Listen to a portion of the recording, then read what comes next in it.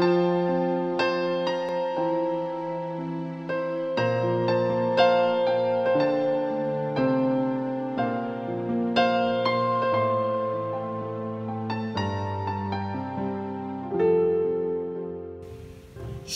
jemaat yang dikasihi Tuhan Yesus Kristus. Kembali lagi pada hari ini kita akan mendengarkan sebuah renungan singkat.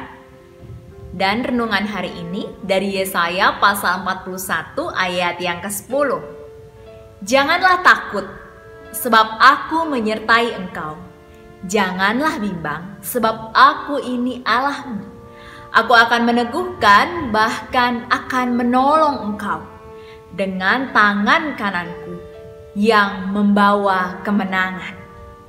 Saudara-saudara, tema kita hari ini tidak mudah, tetapi diberi kesempatan.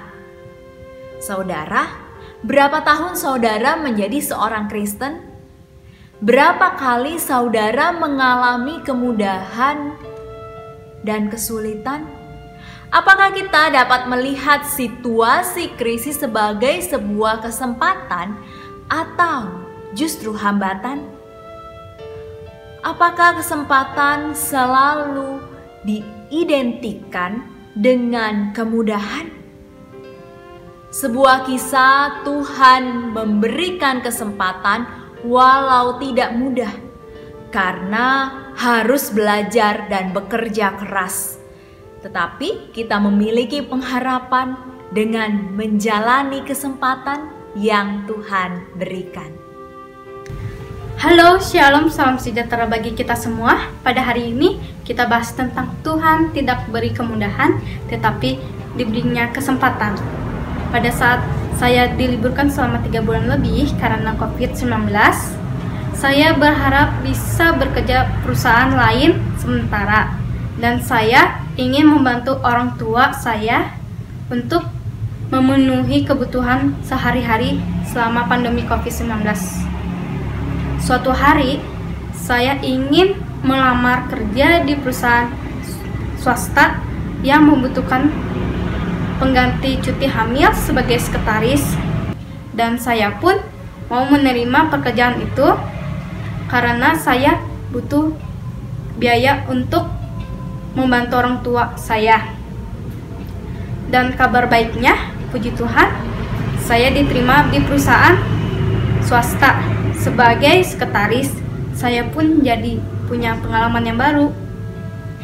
Saya mengingat ayat Amsal 23 ayat 18. Karena masa depan sungguh ada dan harapanmu tidak akan hilang. God bless you.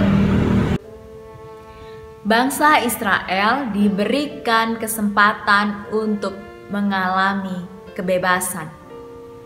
Tetapi kesempatan tersebut tidak selalu direspon dengan baik. Gambaran sikap bangsa Israel seperti kita. Terkadang atau bahkan sering kali kita yang diberikan kesempatan tidak menggunakannya dengan sebaik mungkin.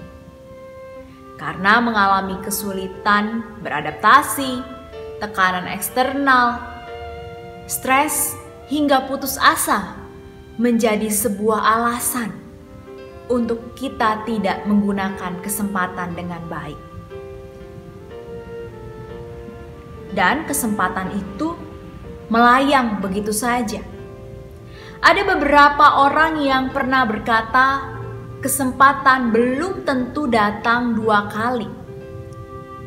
Mengalami kesulitan dalam menjalani kesempatan, ingatlah Yesaya pasal 41 ayat yang ke-10 tidak mudah, tetapi diberi kesempatan.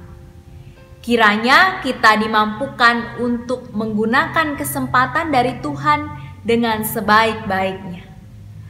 Tuhan menyertai, meneguhkan, dan menolong kita semua. Amin.